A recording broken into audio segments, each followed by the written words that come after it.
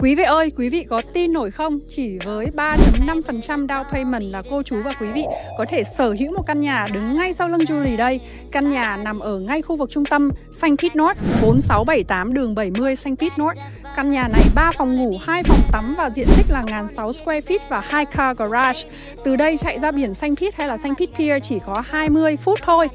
Căn nhà này nằm ngay gần chợ búa cô chú và anh chị ạ. Đây là chợ MD Market ở bên Pinellas Park, chỉ cách căn nhà 10 phút chạy xe thôi. Và trên cái trục đường 49 này thì có rất là nhiều chợ búa và rất là gần cái khu mà nhà thờ Việt Nam nữa. Thật là tuyệt vời đúng không ạ? Thì để Julie sẽ show cho cô chú căn nhà này ha. Let's go!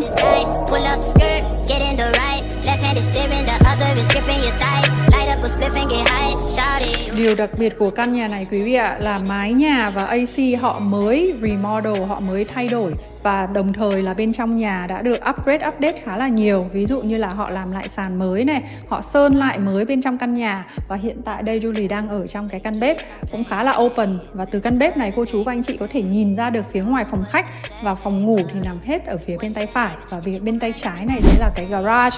Đã có sẵn rất là nhiều cái shelving và cũng làm sàn gạch ở ngoài đấy luôn.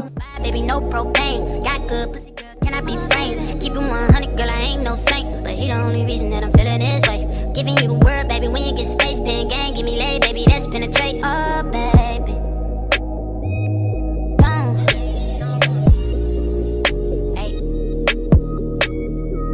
H-Town got a nigga so throw. Pull up, we can party some more.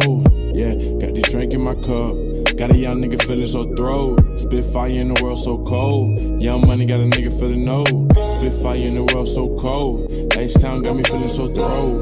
H-Town got me feeling so throw. Rod paint and we sip candy fold. H-Town got me feeling so throw. Spit fire in the world so cold. H-Town got a nigga so throw.